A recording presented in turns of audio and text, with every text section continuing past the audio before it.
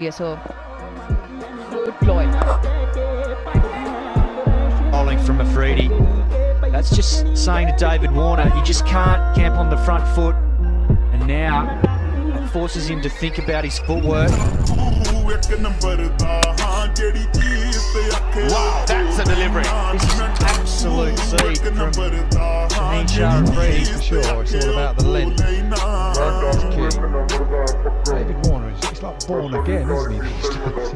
particularly on tracks like this. I've got the finger as well. He's onto that back foot, but the seam back in just too quick for him. With Usman Khawaja said, no, just carry on walking. Full bowled.